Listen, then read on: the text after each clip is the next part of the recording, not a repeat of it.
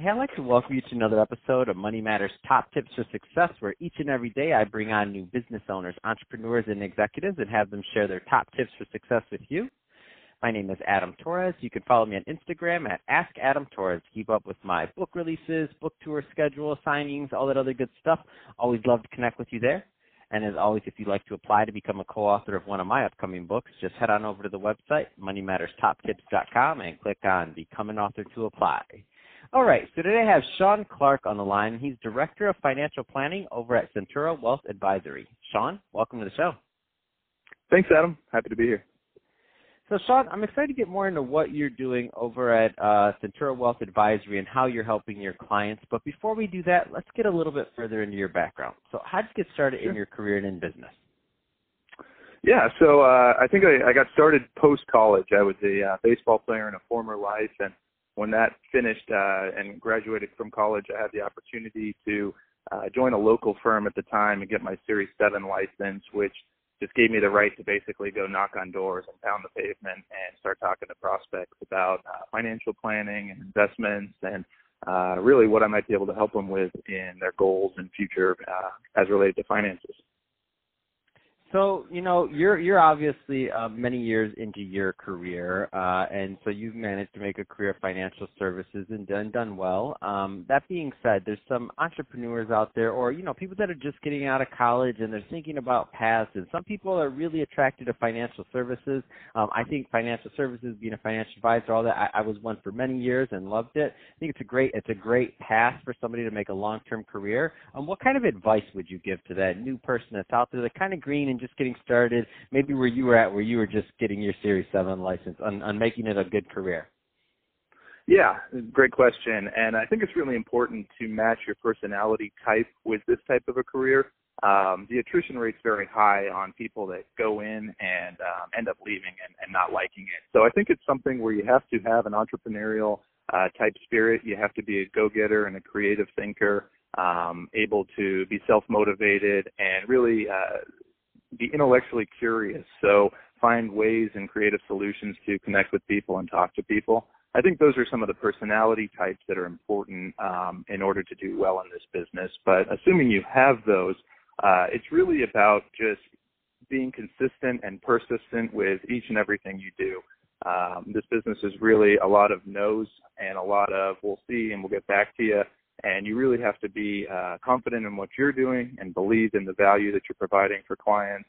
And you need to just do it consistently all day every day and tell your story as much as, as possible. And i think that um, paired with the personality type that enjoys that type of a thing is a recipe for success Oh my gosh, that's awesome. And it's so funny that you say that because when people ask me like how I was able to grow the the uh the podcast, I was like I just did the same thing I did when I was a financial advisor. You have to be persistent and consistent every single day and you just have to do it every single day and you have to, and you get better over time and it's funny cuz now it started I mean I put out more episodes. I put out as many episodes as most people do in a year in a week, and I'm like, why? Because I wow. do it all day, every day, and that's what you know. That's if you want to be the best, if you want to get really good at it. I mean, what does an advisor have to do? They have to be on the phone all day. They have to be talking to people. Right. Obviously, they're they're servicing their current clients, but um, you're not going to be the best if you're not, you know, full contact. So I love that advice, Sean, and it's and it's and it's real. Um, that being said, let's uh, let's switch it up a bit. I do want to get into what you're doing over at Centura Wealth Advisory. So first, uh, tell me a little bit more about the firm, please. Sure. So uh, Centura Wealth Advisory, we're an RIA. Uh, we service primarily high net worth families and business owners. Uh, we focus on a lot of tax planning strategies and investment management around uh, planning solutions and tax managed investments and things like that. So a lot of what we do centers around tax and it's pretty much the the types of clients we work with um, either have a high income and are such trying to mitigate some of the tax liabilities they face on the income side. Uh, it could be a money motion, money in motion type event where they're selling a business or liquidating a piece of real estate, or uh, they have an inheritance or something else.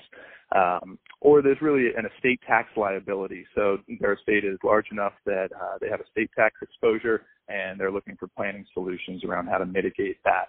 So those are the areas that we focus on at Centura Wealth Advisory, and there's various avenues and means around that, but uh, that's kind of from a high level what we do. So, I mean, I, I like your title, so Director of Financial Planning. That's a that's a new thing. So, meaning uh, as firms have grown and the and the um, complexity of financial planning and what financial advisors do um, has grown. There has been this added layer, especially in the RIA space. I'd say uh, last five years maybe um, of, the, of director financial planning, meaning you're overseeing um, many different advisors and you're providing that next layer even of um, of support for financial um, for planning. That being said, um, overall, when you when you think about the financial planning net landscape and and just the complexity of plans, what's possible, and how things are changing. Um, any kind of themes that you're noticing um, in general that you care to comment on from your vantage point, because it's a little bit different what you do. Sure. You know, I think um, thematically, uh, over the last five years, I would say there's been a lot of commoditization in the planning world. Um, there's a lot of firms out there that do planning, and planning is really specific to the individual. So if you're a young mm-hmm. person starting out with a family and looking to grow a business, the type of planning you need is much different than if you're a 30-year business owner who's looking to transition the ownership of your business to, uh, you know, a third-party buyer or maybe your family or whoever it is. And so strategic planning can be different at different points in time. And so I think as a as a whole, the word planning kind of gets commoditized and thrown around. And I would I would challenge that in that the industry really is split up into different types of financial planning, and it's important for folks to find uh, advisors and planners that specialize in the areas that they work in and are well versed all day every day in the nuances of those types of things. So um, we work in a very narrow scope with business owners and uh, real estate investors and things like that. But we know that space and we know it really, really well. And the services that we can provide that space uh, don't exist at all the different shops. So I think there's been a lot of specializations that have come about, especially in the RIA industry. Um, but there's a lot of really good planning out there in general. So I think it's easy to find planners, but it's hard to find good planners that specialize in what you do and anyone that's looking for planners should um, you know dig a little deeper and make sure that the the folks are well versed in their specific area of need.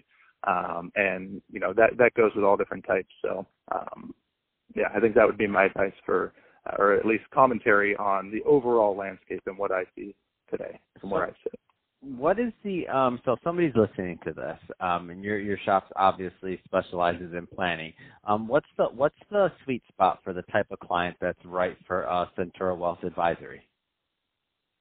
Um you know the sweet spot from an income standpoint is probably a million dollars a year in income or higher. Um estate tax liabilities uh that comes to a twenty five million dollar estate and larger.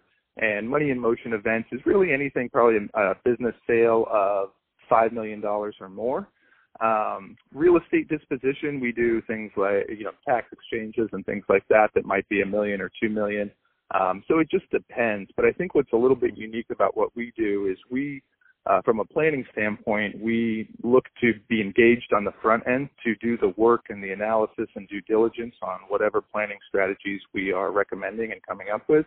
And we kind of paint the picture for the client. And if they choose us to go implement those strategies and manage them for them, that's great. We also do a lot of work with other advisors. So um, advisors may have a book of business and they may have one client in that book of business who's selling selling a, a business and has this specific need and they may bring us in as a partner to work with them on that specific transaction. So that's something we do as well, where we may just work as an engagement to develop the plan and let other advisors continue to service that. That's awesome. Um, so, Sean, if somebody wants more information on Centura uh, Wealth Advisory, what's the best way for them to get it? Uh, CenturaWealth.com is our website. We've got uh, a lot of information on there. We've got some blogs and things that I've written, so you get a good sense of who we are and what we do. We've got our uh, biography information on there, so get a sense of the team and and kind of the reading through some of our content. will give you an idea of uh, how we think and how we attack things. That's perfect. Um, well, hey, Sean, really appreciate you coming on the show today and sharing more about your background and uh, all the great work you're doing over at Centura Wealth Advisory. Uh, and to the audience, as always, thank you for tuning in. Hope you got a lot of value out of this. If you did, don't forget to subscribe to the podcast, uh, leave me a review on the Apple iTunes Store, um, do all those great things we do to support our podcasters. I really do appreciate it. And uh, Sean, thanks again for coming on the show.